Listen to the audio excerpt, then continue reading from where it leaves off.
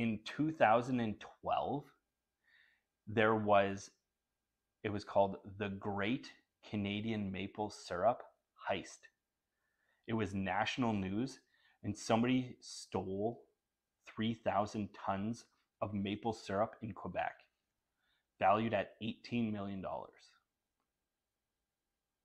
So it's like that was big news because Canada produces 80% of the world's maple syrup. Yeah, yeah.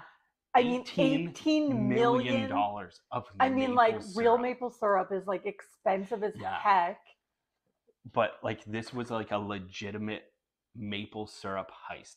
Wow. Somebody stole maple syrup. Wow. Like what did you do with it?